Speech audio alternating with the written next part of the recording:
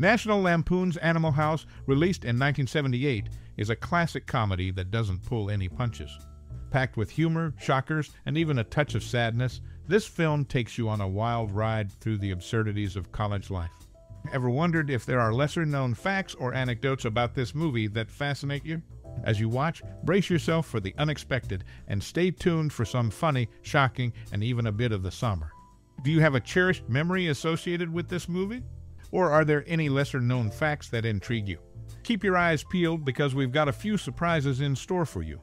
Now, we want to hear from you. What's your most cherished memory or personal experience related to this film? Drop your stories and memories in the comments below. We're eager to read your tales from the Animal House era. Get ready for a trip down memory lane, and remember, there's more to discover about National Lampoon's Animal House. Stay tuned for the unexpected. National Lampoon's Animal House, released in 1978, left an enduring mark on the landscape of American comedy. Directed by John Landis, the film was an irreverent take on college life, following a misfit fraternity's antics at Faber College. During its time, the movie was met with both critical acclaim and box office success. Its impact on popular culture was undeniable, reshaping the comedy genre and influencing subsequent generations of filmmakers. The film's reception was a testament to its groundbreaking approach, embracing a raw and raucous humor that resonated with audiences. The memorable characters, led by John Belushi's iconic portrayal of Bluto Blutarsky, became cultural touchstones. Animal House's unapologetic humor and satirical take on authority figures struck a chord with viewers, earning it a place in the pantheon of classic comedies. Animal House's success extended beyond the silver screen, giving rise to a myriad of spin offs, including a short lived TV series in 1979. While the show failed to replicate the film's triumph, it showcased the enduring popularity of the Animal House universe. The film's characters, quotes, and scenarios became ingrained in the public consciousness, leading to the creation of merchandise ranging from t shirts to posters. The impact of Animal House on the college comedy genre was profound, influencing subsequent films and TV shows exploring the humor in campus life. Its legacy can be seen in the DNA of later projects like Old School and American Pie, which owe a debt to Animal House's fearless approach to comedy. In addition to its cultural impact, Animal House's success marked a pivotal moment for the National Lampoon brand, establishing it as a force in American comedy. The film's irreverence and boundary pushing style set the tone for future Lampoon projects, contributing to the brand's enduring reputation for edgy and subversive comedy. In conclusion, National Lampoon's Animal House remains a seminal work in the realm of American comedy, with a lasting impact on both film and popular culture. Its unbridled humor, unforgettable characters, and influence on subsequent works make it a cornerstone of cinematic comedy, shaping the landscape for years to come. The band Otis Day and the Knights, featured in the movie, had the then unknown blues guitarist Robert Cray as its bass player. Cray played a crucial role in assembling the musicians for the band. Originally, Jack Webb and Kim Novak were considered for the roles of Dean and Mrs. Wormer in the film. However, the final casting took a different direction. Chris Miller, one of the writers, drew inspiration from his own experiences for some characters. Pinto, for instance, was based on Miller's time as a Dartmouth sophomore, where Pinto was his fraternity nickname. Boone, another character, was envisioned as an older and wiser version of Miller himself. The character of Dean Wormer was crafted with inspiration from Richard Nixon. Additionally, the character Flounder's nickname was borrowed from a wealthy individual in Tulsa, although the film's Flounder differs significantly. The character Bluto was a composite, drawing from several individuals in Miller's fraternity, particularly those nicknamed Albie, Seal, and Bags. These details offer insights into the casting choices and character origins in the movie. Each actor and character had a unique connection or inspiration that contributed to the creation of National Lampoon's Animal House. In the iconic 1978 film, there's a memorable scene where a stressed out character defiantly yells, All is well. During a parade moment, now widely used as an internet meme to satirize stubborn refusal to accept facts in the face of a wrong headed policy or a deteriorating situation. Originally clocking in at 2 hours and 55 minutes, the movie had its share of deleted scenes, offering more insights into the character Bluto. One notable cut involved Bluto confronting a dishwasher who dared to challenge his voracious appetite. The confrontation ends with Bluto's emphatic declaration, you don't mess with the Eagles unless you know how to fly. Another deleted scene extends the famous mustard episode, featuring Bluto pouring mustard on himself and breaking into a rendition of I Am the Mustard Man. Delving into the original script reveals an amusing twist in Flounder's admission to the fraternity.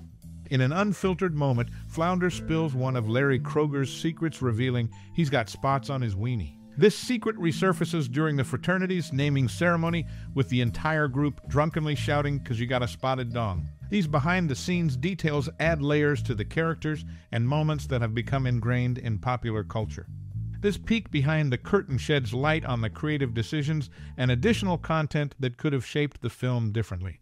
Each revelation adds nuance to the characters and scenes, offering a deeper understanding of the movie's development and the choices made in crafting its humor and narrative. The fraternity and National Lampoon's Animal House undergoes a nomenclature shift, transitioning from Delta Chi Tau to Delta Tau Chi during a scene where movers clear out the frat house. This alteration adds a subtle touch to the film's narrative. Originally slated to film at the University of Missouri, the production faced a setback when the school's president declined permission after reading the script. Consequently, filming relocated to the University of Oregon in Eugene, where the iconic scenes unfolded. Remarkably, the movie's advertising and promotional efforts surpassed its production budget. More funds were allocated to marketing, highlighting the strategic push behind the film's widespread recognition. These behind the scenes facts offer glimpses into the film's evolution, from the dynamic fraternity name change to the logistical shift in filming locations. The financial emphasis on promotion also underscores the strategic approach to ensure the film's success. In summary, National Lampoon's Animal House reveals intriguing details, including the fraternity's evolving name, the shift in filming locations, and the unique emphasis on promotion. Jack Webb declined the role of Dean Wormer, expressing concerns about its impact on his image. The initial choices for Boone and Otter were Bill Murray and Chevy Chase, but director John Landis persuaded Chase to opt for another project. Tim Matheson took the role instead. During the film's 30th anniversary interviews, Karen Allen shared trivia about her nude scene. Reluctant at first, Donald Sutherland's willingness to bare his bottom influenced her decision. The behind the scenes dynamics, from casting choices to on set negotiations, provide additional layers to the film's production. Each decision shaped the trajectory of the characters and scenes, contributing to the movie's unique identity. In the 1978 film, a memorable scene features the character played by John Belushi, revealing the dirty lyrics of the Kingsmen's 1963 song Louie Louie. This moment traces back to a genuine FBI investigation prompted by complaints about hidden profanity in the song, but the agency eventually admitted to finding no obscene words. On the blackboard, there's a list of names with graduation years, including the character John Blutarsky marked as 60, 61, 62, 63.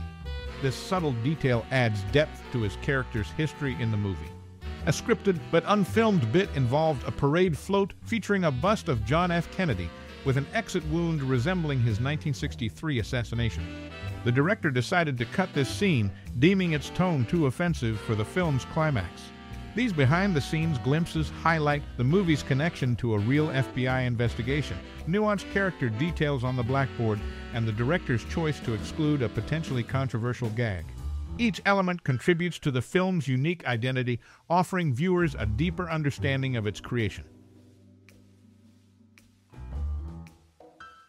After dismissing the crew hairdresser, director John Landis took the core Delta actors to a local barber shop. There he sought early 1960s style haircuts for the cast. The barber, upon examining pictures, confidently claimed it would be an easy task. Subsequently, he efficiently cut all of the actors' hair, one after another. The scene where Otis Day and the Knights perform Shout has become a tradition at the University of Oregon home football games. After the third quarter, the clip graces the Autzen Stadium Jumbotron, prompting thousands of fans to sing along enthusiastically. Originally conceived as Laser Orgy Girls, a comedy about Charles Manson as a high school student, the idea for the film underwent transformation.